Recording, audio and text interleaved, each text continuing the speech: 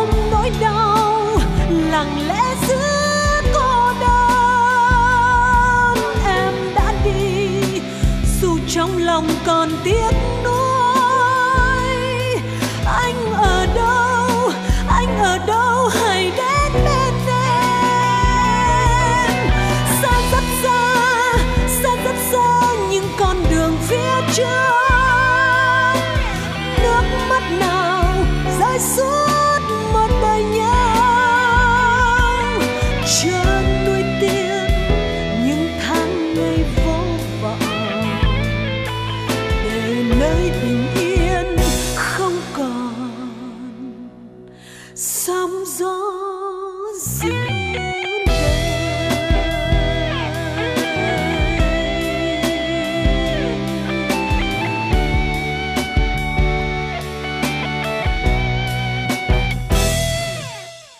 Bây giờ đứa nào? Đứa nào dám gặp con gái của má? Con nói đi, má cho nó biết mặt. Ai? Anh á, Anh chọc con tức á. Anh chọc cho con tức chết luôn đi chưa rồi. Chuyện gì nữa vậy? Nói má nghe coi. Ờ à, Dạ dạ má. Chuyện là Anh hai thấy chị dễ thương Cho nên chọc ghẹo chỉ có mấy câu à. Không ngờ Chị Mén chỉ tức giận thiệt Nên lăn ra xỉu luôn. Vậy hả? Con á Thiệt là con nít quá đi. Chuyện nhỏ xíu như vậy mà cũng tức giận chi không biết nữa à. Đông. Dạ? Đứng đó làm gì Lại xin lỗi em Tiến đi. Nhanh lên. Xin lỗi. Thôi mà Có gì đâu mà lỗi phải. Sẵn dịp hôm nay Mời hai anh chị và hai cháu. Dạ. Hôm nào rảnh Xuống nhà tôi Dạ. chơi cho biết. Và cũng là để cho vợ chồng tôi nói lời cảm ơn. Anh khách sao quá. À, Nếu có dịp Tụi tôi nhất định à, sẽ xuống thăm gia đình nhà anh hả Cái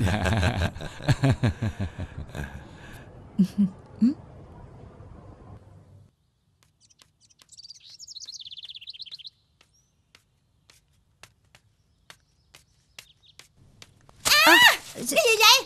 Không có mắt sao? Dạ dạ dạ. Dạ. Dạ tôi xin lỗi cô Út. Dạ dạ tôi tôi, tôi lỡ tay à Lỡ cái gì mà lỡ? Bà cố tình đó chứ lỡ tay cái gì? Tưởng tôi không biết mấy cái trò của bà hả Muốn tôi đuổi việc bà luôn không? Dạ. Càng ngày á Tôi thấy tôi không vừa ý chị đó chị sao dạ, Ăn á thì rơi rớt Làm á thì đổ bể. Dạ. Không làm ra gì hết trơn á. Nếu chị không muốn làm á chị nói tôi tiếng Để tôi kêu người khác. Dạ. Tôi không có ý gì đâu. Tại Tay chân nó dụng về. Dạ. Mong bà chủ với cô Út bỏ qua cho. Dạ Lần sau tôi sẽ cẩn thận hơn à Thôi được rồi. À, Chị à, cứ đem ra ngoài đi. Không có chuyện gì đâu. Dạ Cảm ơn ông bà. Cảm ơn cô Út à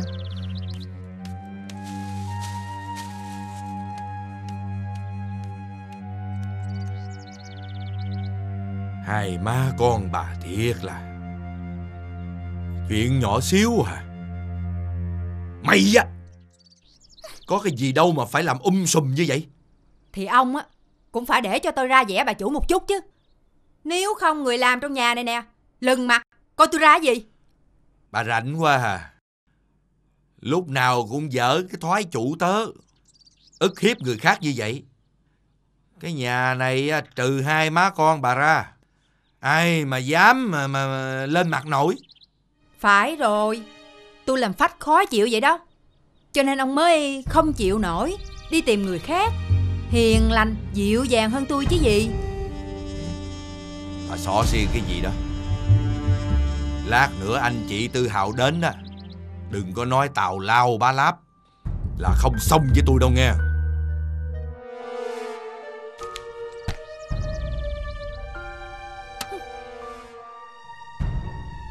Ủa Tới giờ cơm rồi sao không thấy Mạnh Đông về ăn cơm vậy anh chị?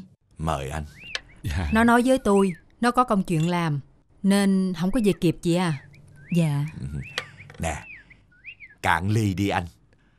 Rượu này á, tôi ngâm lâu lắm rồi. Chỉ dành đãi khách quý thôi đó nghe. Ui Anh chị cũng thiệt là có phước. Con trai á thì giỏi giang khỏe mạnh.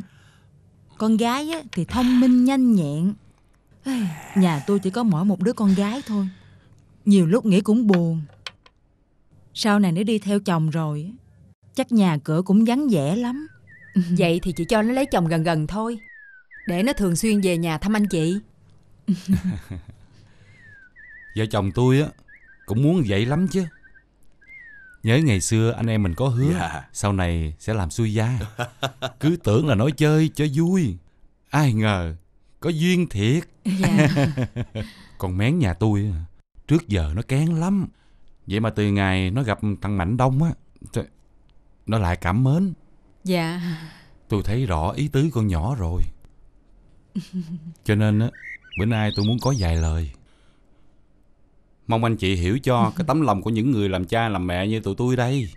Dạ Anh nói thiệt hả Nếu vậy Thiệt may mắn cho thằng Mạnh Đông nhà tôi quá Nhìn hai đứa nhỏ.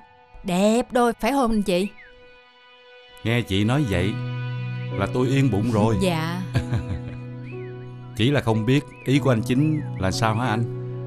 à, Đúng là ngày trước á, anh em mình có hứa làm xuôi gia. Dạ. Tôi vẫn nhớ. Nhưng mà à, à, Tụi nhỏ bây giờ nó Nó yêu đương Nó lựa chọn tự do. Mình làm cha làm mẹ ờ, Đâu có ép buộc con được. Nói Thì nói vậy. Nhưng tôi thấy Thằng Mạnh Đông Coi bộ Có cảm tình với con mén đó chị. Trước sau gì Hai đứa nó cũng thành đôi mà. Dạ Được vậy thì hay quá. Vợ chồng tôi chỉ có một mình nó là con. Chỉ cần nó muốn Là cái gì á tôi cũng chiều nó hết. Nhưng cái chuyện này Chắc phải nhờ anh chị Dung đắp thêm cho hai đứa nha. Tất nhiên rồi. Chị không cần nói Tôi cũng sẽ làm mà. Tôi thương con mén Như con cái trong nhà vậy đó. Nó mới lên chơi có mấy lần Mà thiệt tình Tôi cưng nó hết biết luôn đó chị.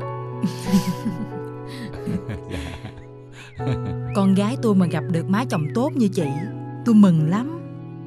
Hy vọng Chuyện hôn sự tương lai của hai đứa Sẽ tốt đẹp suôn sẻ nha chị. Dạ. Dạ. à, Dạ. Cạn ly đi. Dạ Chúc mừng mời chị. Tụi mình sắp sửa trở Dạ. thành xuôi gia với nhau nha. Dạ.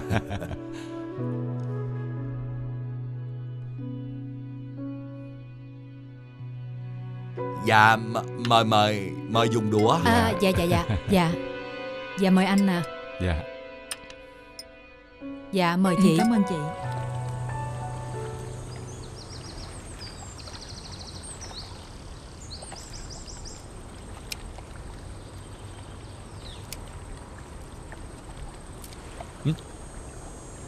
À vậy.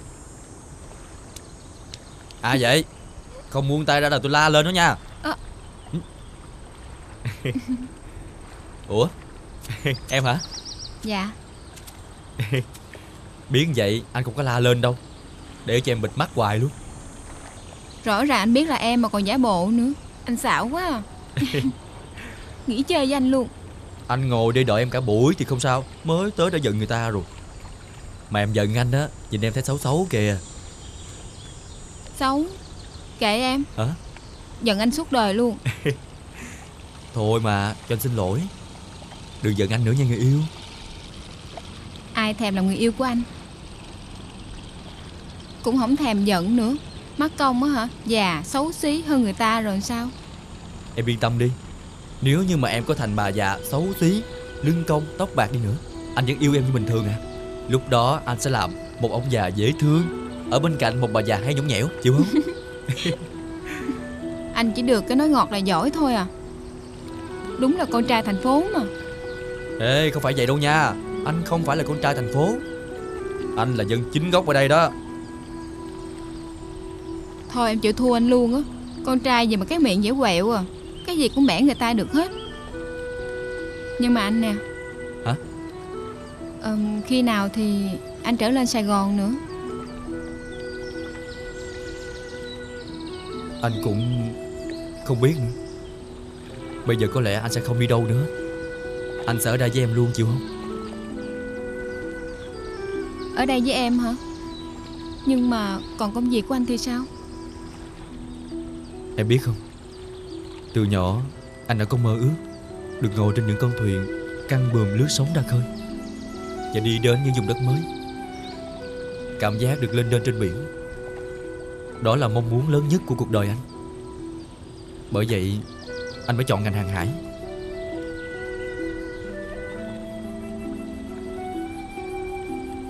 Nhưng từ khi gặp em, Anh mới biết là Hạnh phúc lớn nhất cuộc đời mình Là được ở bên cạnh em.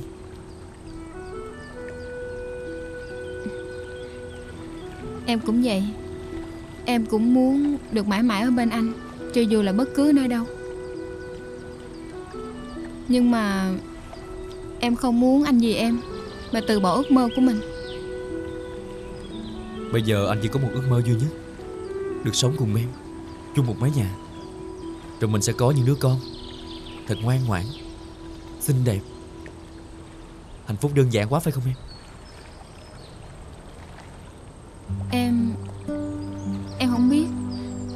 Nhưng mà Thôi Anh không muốn hai chữ nhưng mà đâu.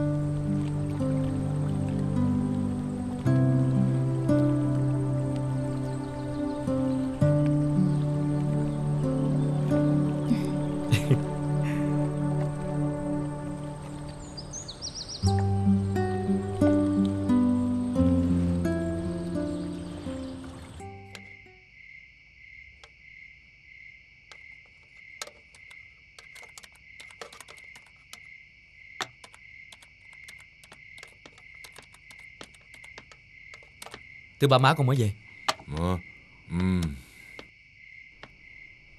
Con đi đâu giờ này mới về vậy? Sáng nay nhà có khách, má kêu con về ăn cơm mà con không chịu về. Con có biết con làm như vậy á, ba má mất mặt với người ta lắm hay không? Con xin lỗi má với lại xin lỗi ba Thật sự Con không muốn gặp ông bà Thế Hào một chút xíu nào hết á Với lại Cái gì? cái cô gì đó Con không muốn có quan hệ gì với cô ta hết á Hay quá ha. Nói không thích là có thể không gặp người ta phải không? Dù sao đi nữa cũng là cha mẹ vợ của con. Con phải biết cách mà cư xử cho đàng hoàng một chút chứ. Má Má nói gì kỳ vậy Cha mẹ vợ của con là sao Với lại Sao mà biết người đó là ai chứ Còn ai vô đây nữa? Người ta đã chấm con làm rể rồi đó. Con á, cố gắng biểu hiện cho đàng hoàng đi. Thôi mà má ơi Không có được đâu mà Con thấy cái chuyện lạ lùng lắm Với lại Con nói không được là không được Sao không được? Con mén vừa dễ thương, vừa nhanh nhẹn. Gia đình người ta là gia đình danh giá, sung túc. Quan trọng là người ta rất chú ý tới con. Vậy mà con còn chê người ta ở điểm nào nữa đây? Má à Con Con không có chê bai người ta gì hết á Chỉ là Con không phải nói nhiều. Ba má đã quyết định rồi. Bà nè Hay là để cho con nó suy nghĩ kỹ càng một thời gian đi Dù sao cũng là chuyện trọng đại của một đời người mà Suy nghĩ gì nữa? Điều kiện như vậy không phải là quá tốt rồi hay sao? Ở đời á, không có ai may mắn hoài đâu ông. Tuy vậy Cũng nên quan tâm đến tình cảm của tụi nhỏ chứ Thời buổi bây giờ tự do phóng khoáng Mình đâu có thể nào lấy quyền làm cha làm mẹ Mà ép duyên nợ của con cái được Tự do là con cái có quyền cãi cha mẹ hả? Để làm theo ý mình hay sao? Cha mẹ đặt đâu thì con cái phải ngồi đó. Không được quyền trái ý. Má à Không phải không phải hôm trước á Con nói là muốn tiếp tục nghề nuôi cá bè nhà mình hay sao Con cưới con mén về Thì ba má sẽ giao hết sản nghiệp cho hai đứa làm ăn. Bà nói vậy là quá đáng nghe. Mình ép buộc nó. Lỡ sau này á Hai đứa nó sống với nhau không có hợp Rồi tụi nó lại đổ lỗi cho mình. Ông á, đừng có binh vực nó. Tôi đã quyết định rồi. Không thể bỏ qua một cái đám tốt như vậy được. Nè Má dặn con mén ngày mai lên đây chơi. Con mà không ở nhà gặp nó hả? Coi chừng má đó. Má Con nói cho má biết Con có gặp cô ta một ngàn lần. Con cũng không thể nào ưa nổi của ta đâu. Má đừng có làm chuyện vô ích.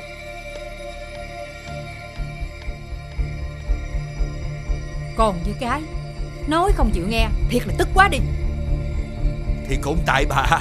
Cái gì á thì từ từ mà nói. Làm vậy á thì có ích lợi gì đâu. Mà tôi thấy chuyện vợ con á, thì bà cũng đừng nên ép buộc nó làm gì Chuyện trọng đại như vậy Không thể để cho nó tự tung tự tác được. Ông đừng có bàn ra nữa nghe không? Cứ để tôi lo liệu tất cả cho. Tôi mệt bà quá đi. Bà muốn làm cái gì thì bà làm đi. Biết đâu chừng sau này, Con mén đó nó Nó làm bà khóc ròng Thì bà ráng bà chịu một mình đi nghe chưa?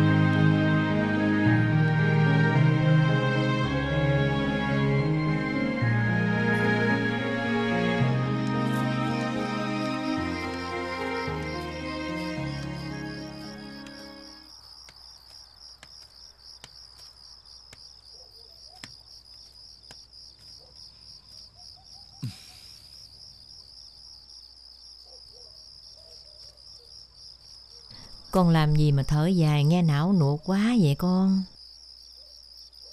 Dạ Đâu có gì đâu ngoại. Không có chuyện gì Sao mặt con thấy buồn hiu vậy? Nói cho ngoại nghe thử coi chuyện gì. Dạ không có gì thiệt mà ngoại. Tại tự nhiên bữa nay nghe tiếng dế kêu Con thấy hơi buồn buồn. Trời đất ơi Ngày nào mà không nghe tiếng dế kêu rỉ rả hả con? Tự nhiên cái bữa nay mày đặt buồn nữa. Cái mẫn này là muốn vợ lắm đồ phải không? Con nói thiệt cho ngoại nghe đi. Vợ con gì ngoại ơi?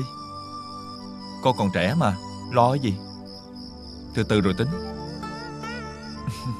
Với lại, Con còn phải lo cho ngoại nữa mà. Ngoại già rồi, Sống nay chết mai, Có gì đâu mà phải lo hả con? Chỉ tội cho con. Hai mươi mấy, ba mươi tuổi đầu rồi Mà chưa yên bề gia thất.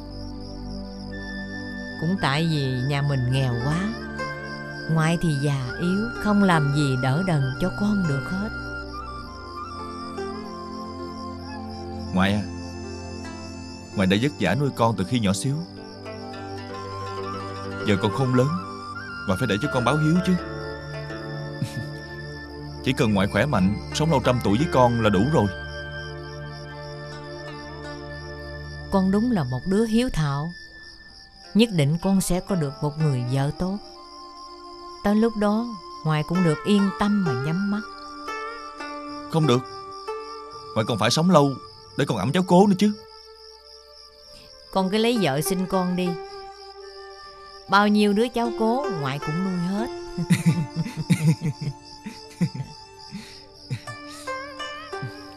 Con nè, Chuyện tình cảm riêng của con, Ngoại không xen vô đâu. Có điều, Hôn nhân là chuyện hệ trọng một đời người. Hằng vạn lần, không nên chọn sai. Con đừng vì cá nể hay nhút nhát, Mà làm lỡ tình cảm của con. Con hiểu ý ngoại mà, phải không con? Dạ. Con sẽ nhớ lời ngoại dặn.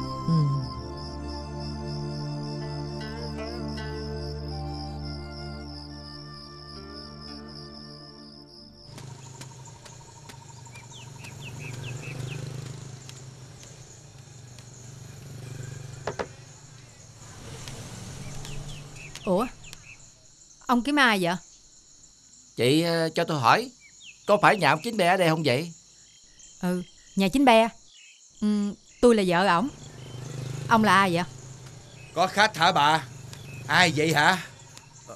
Ủa? Trời ơi! Anh Năm! Khỏe không vậy?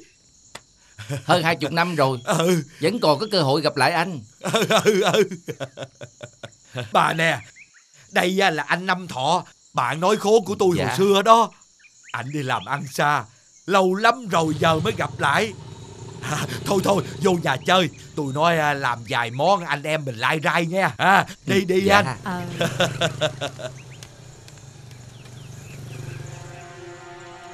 Bạn bè gì? Nhìn cái mặt đã thấy ưa không nổi rồi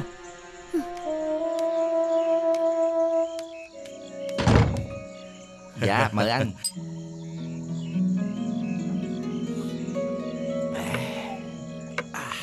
Lúc này anh sao rồi? Đi xa làm ăn lâu vậy Chắc phát tài dữ ha. Làm gì có anh ơi. Số tôi chỉ đủ ăn chứ không giàu nổi. Bôn ba mấy chục năm nơi xứ người. Cũng chỉ đủ nuôi mấy đứa con khôn lớn lên người. Vậy là tôi thấy bừng rồi Nhớ năm xưa, Anh là người liều mạng nhất trong đám tụi mình ha. Anh dám bỏ nhà đi xa. Trời ơi, Nghĩ lại tôi thấy phục anh quá đi. Tại gia đình anh khá giả, Nên anh nghĩ vậy. Chứ tôi á, Quanh năm suốt tháng làm không đủ ăn, Phải đi mới mong đổi đời. Nhưng mà lăn lộn nơi đất khách, Cơ cực lắm anh à. Đi khắp nơi rồi mới biết. Không đâu bằng quê mình. Lần này á tôi về quê để sửa sang căn nhà cũ. Rồi tháng sau Đó bà xã về dưỡng già luôn. Ờ, Anh tin vậy cũng phải. Mình già hết rồi. Sống ở thành phố á, Đông đúc ồn ào chịu sao nổi. Dạ Ăn đi anh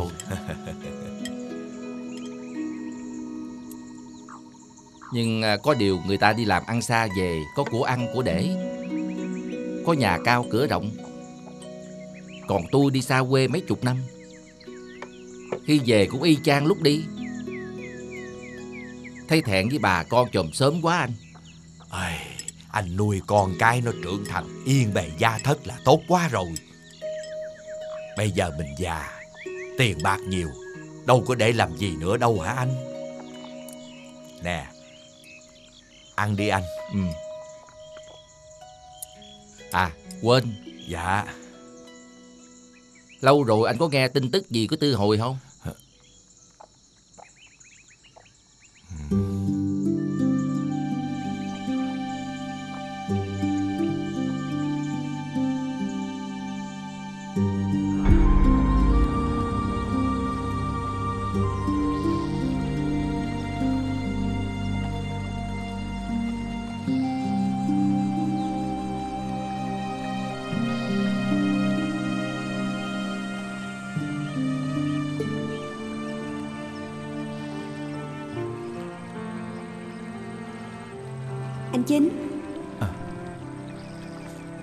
lỡ sau này Mình không là vợ chồng thì sao hả anh? Mình thương nhau như vậy Sao lại không thành vợ chồng chứ? Đợi ngày lành tháng tốt Anh sẽ kêu ba má anh qua hỏi cưới em. Anh nói thiệt không? Sao lại không thiệt? Bộ em không tin anh hả? Không phải là em không tin anh Nhưng em sợ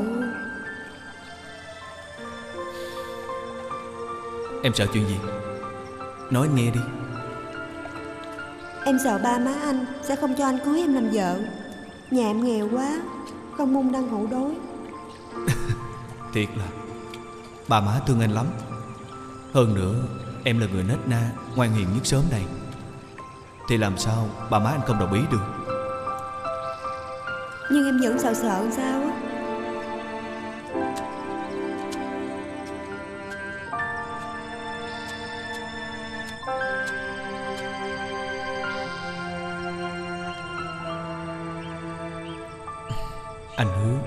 Dù có chuyện gì xảy ra Anh cũng không bao giờ bỏ em. Em không phải lo sợ gì hết Em biết chưa?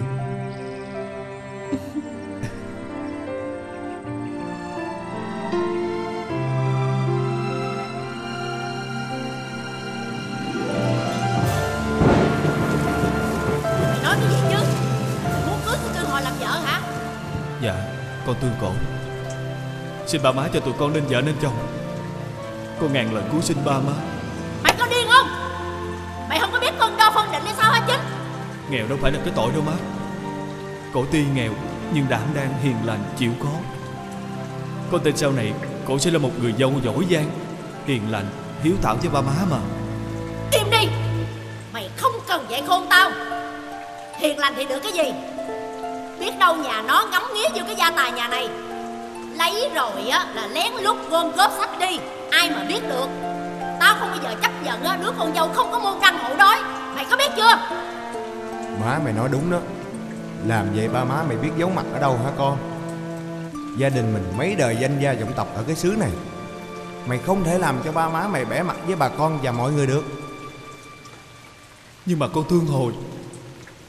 Nếu ba má không đồng ý Con sẽ bỏ nhà đi theo người con thương. Cái thằng này Mày giỏi lắm.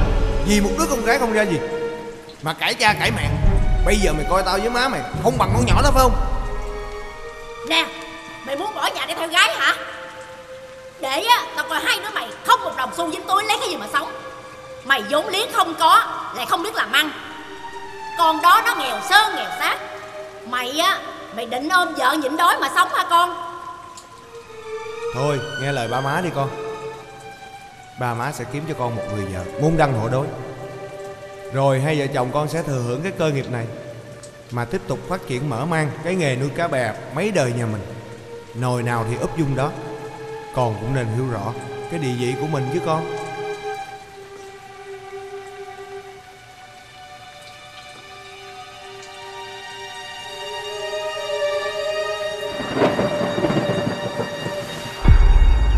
Nè, anh Chính. Anh làm gì ngồi thừa người ra vậy? Anh Chính. À, à, ờ, không không không có gì. À, tôi chỉ đang nhớ cái chuyện trước đây thôi. Mời đo mà đã hai mươi mấy năm rồi. Chắc là gặp lại tôi. Nên anh nhớ tới người xưa rồi chứ gì. Bảy.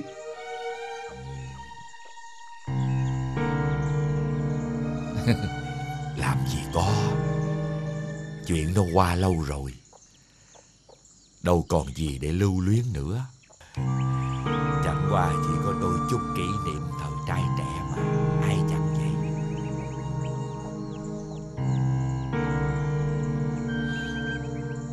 Lâu rồi, không có nghe tin gì của cô Tư. Không biết bây giờ cô sống ra làm sao? Anh ở nguyên đây mà cũng không biết hả?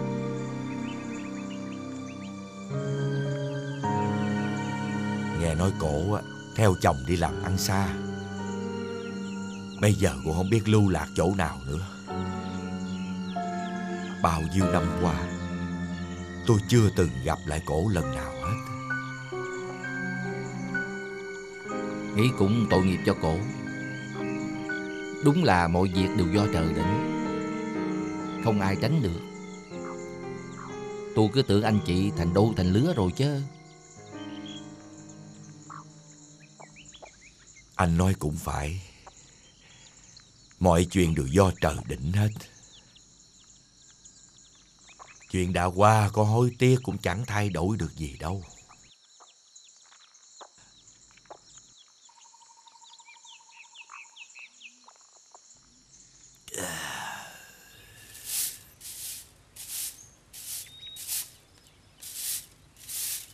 Ngoại ơi, ngoại cái con nhỏ này Chưa nhìn thấy người đã nghe thấy tiếng rồi Ngoại ơi, bữa nay á con nấu chè đậu á. Ngoại với anh hai á ăn cho mát nha ngoại. Bữa nay rỗi rảnh dữ ha Bài đặt nấu chè cho ngoại ăn nữa Tại á, mấy đứa em họ của con tới chơi. Sẵn có đậu á nên con nấu luôn. Ngoại, ngoại để đó con quét cho. Ngoại ăn chè thử coi ngon không? Nha ngoại. ừ.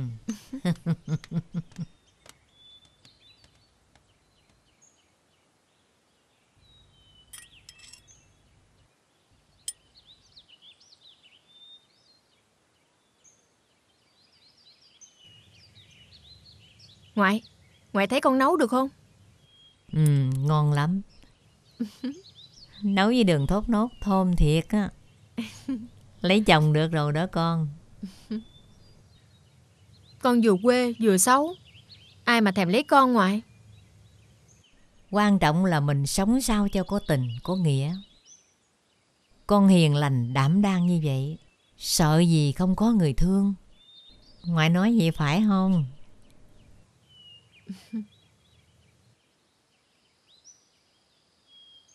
Ngoại, anh hai gì chưa vậy ngoại?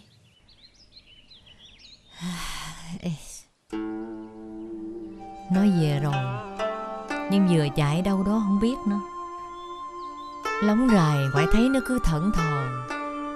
Hay thở dài Mà không biết có chuyện gì không? Con coi qua chơi Rồi lựa lời hỏi han nó thử coi làm sao. Chứ ngoại hỏi là nó nhất định không chịu nói Dạ, con biết rồi ngoại. ừ. Ngoại ngoại, ngoại ăn chè đi ngoại.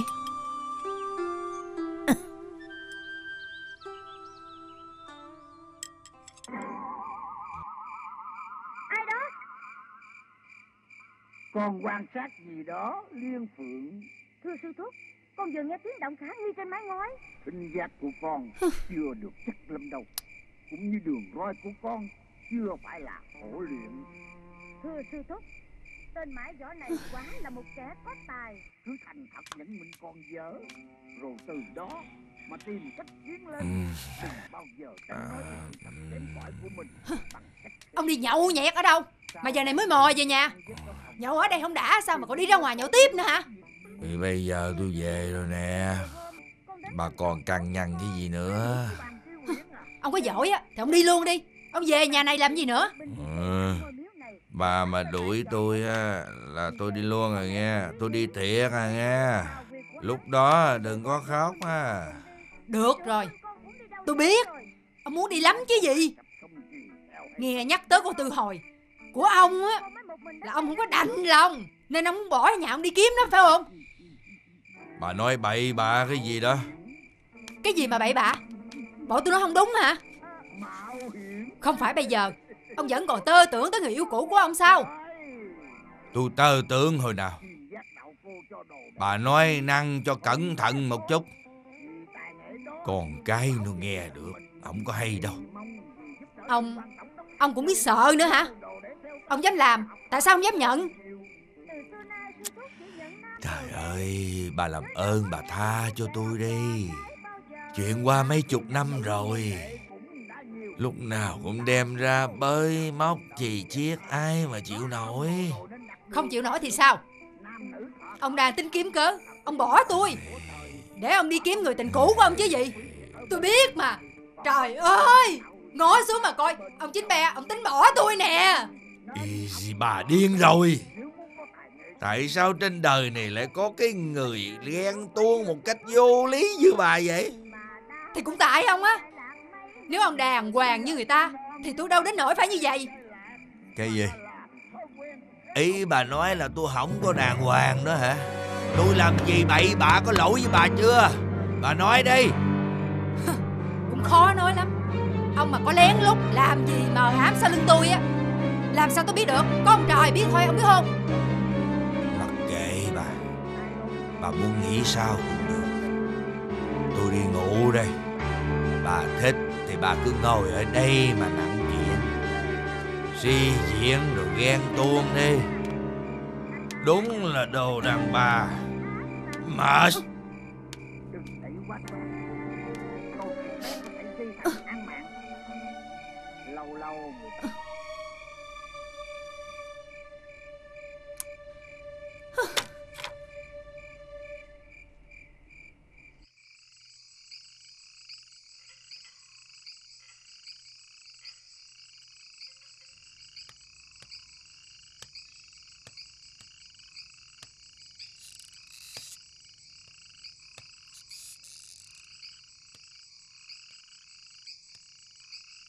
Anh hai.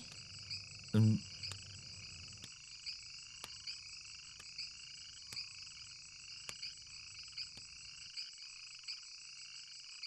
Làm gì mà anh ngồi ủ rũ buồn hiu vậy anh hai? Anh đâu có gì. Chỉ là đang suy nghĩ chút chuyện thôi. Anh đang suy nghĩ chuyện gì? Nói cho em nghe được không? Cũng không có gì.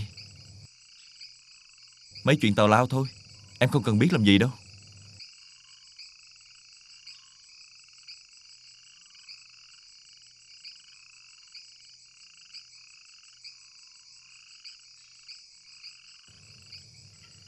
Ừm.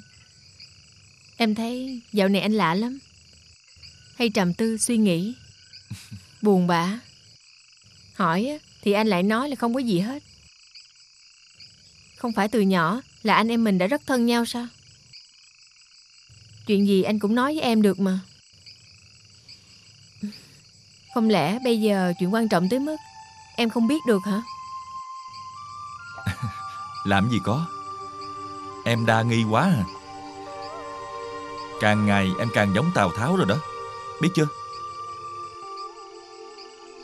Em không có quen với Tào Tháo hay Tào Thị gì hết. Em chỉ quan tâm anh thôi Vậy anh có còn coi em là bạn nữa không? Anh xin lỗi Nhưng thực tình là anh không có chuyện gì Nếu như có chuyện gì cần tới em Nhất định anh sẽ nói với em Chịu chưa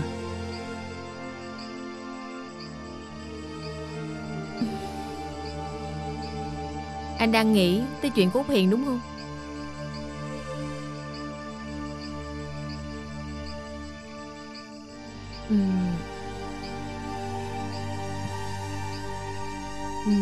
Đúng ra em không nên nhắc tới chuyện này mới phải. Em không cố ý làm anh buồn đâu. Chuyện là ở anh Chứ không phải tại em. Em có lỗi gì đâu chứ.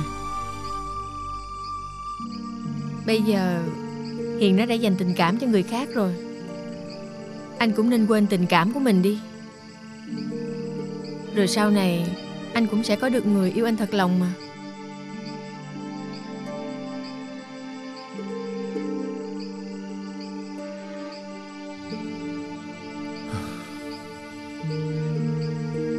Anh cũng muốn lắm chứ. Nhưng chuyện tình cảm, Đâu phải nói quên là quên được dễ dàng đâu em. Cứ mỗi lần thấy Út Hiền vui vẻ bên cạnh Mạnh Đông thì lòng anh lại cảm thấy vô cùng đau đớn.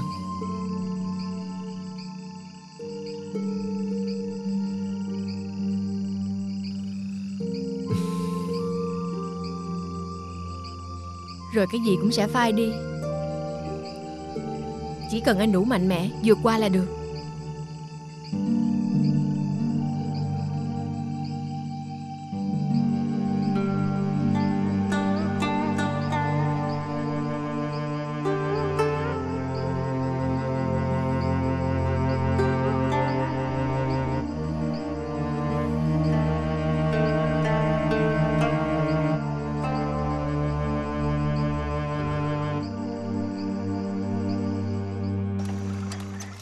Chị Tám ơi Chị Tám Hả? Đó Tối quá rồi xuống dưới này Ở nhà cả bộ không yên rồi hả? Ê, Tôi xuống đây là để xử lý chai rượu này nè Ở trên bà cứ cằn nhằn tôi nhức đầu quá Chị có muốn uống chung với tôi không? À Ngồi đi. Ừ, Rượu là bạn hiền của tôi mà. Sao mà từ chối bạn hiền được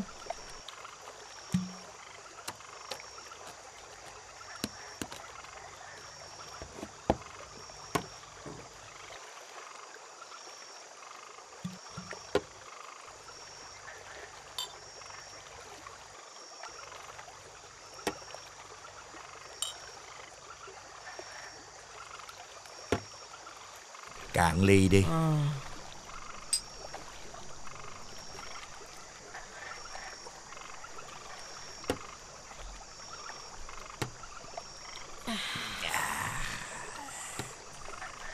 Bạn này hiền dễ sợ Ngon bá cháy luôn. Cái rượu này là của người bạn tặng cho tôi. Bữa nay buồn quá mới đem ra uống để giải sầu ra Dương có nhà cao cửa rộng Vợ đẹp con ngoan. Sung sướng vậy mà than buồn than khổ. Người ta không có tình đâu. Hey, Mỗi cây mỗi hoa Mỗi nhà mỗi cảnh chị ơi. Đâu phải cứ giàu có là được sung sướng thanh thản đâu. Bà vợ tôi à, suốt ngày cứ cằn nhằn bới móc hết chuyện này đến chuyện khác. Riết rồi, tôi muốn khùng luôn. Dù sao, Dượng cũng còn có chồng, Có vợ để mà gây gỗ. Như tôi đây lẻ loi có một mình. Tôi muốn nghe chồng chửi một câu cho đã, Cũng có được đâu. Cái này là do chị muốn vậy nghe. Chứ lúc trước vợ chồng tôi đã hết lời khuyên chị Đi kiếm người đàn ông khác để bầu bạn. Sau này khi già yêu rồi cũng có người ở bên cạnh. Để cho mình nương tựa nhờ cậy, Chị dứt khoát không chịu nghe. Người mình cần, Thì không còn nữa. Thì kiếm người khác làm gì? Có bạn hiền bên cạnh để an ủi. Tôi coi như không uổng phí cuộc đời rồi. Ai thì tôi không biết. Chứ tôi hả, Không bao giờ làm khó khăn con dâu như người ta đâu. Con dâu của tôi hả, Cũng như con gái của tôi vậy đó. Hơn nữa Anh chị là chỗ thân thuộc Con mén thì ngoan ngoãn dễ thương như vậy. Đương nhiên là tôi phải đối xử tốt với nó rồi. Tình cảm Không thể dùng vật chất để sang bằng được đâu má. Con không cần. Nhưng má cần. Ngay từ đầu Tôi đã dặn mình là phải chú ý đặc biệt tới cô Phải chú ý Mới có thể cảnh giác được chứ. Má tao nói á Thấy ảnh hơn mình đủ mọi bề Tao sợ Mày sợ chả lừa gạt mày hả? Không phải. Cũng không tới mức lừa gạt gì đâu. Còn yêu nhau Chỉ là thân phận của mình kém cỏi Tình cảm của anh dễ thay đổi Anh đã nói chắc chắn là sẽ cưới con nhỏ đó mãi mãi Cô nghĩ là anh nói giỡn nhau sao nó dám cưới ai về cái nhà này? Cơn mưa chiều mất ở không ăn bám vợ mà còn nói thể diện hả? Không biết bắt cỡ là cái gì. Coi bà với đám cháu cũng quý của bà đó. Có giỏi mài cái thể diện ra mà ăn được không? Tìm cơn gió đưa tình yêu về với chúng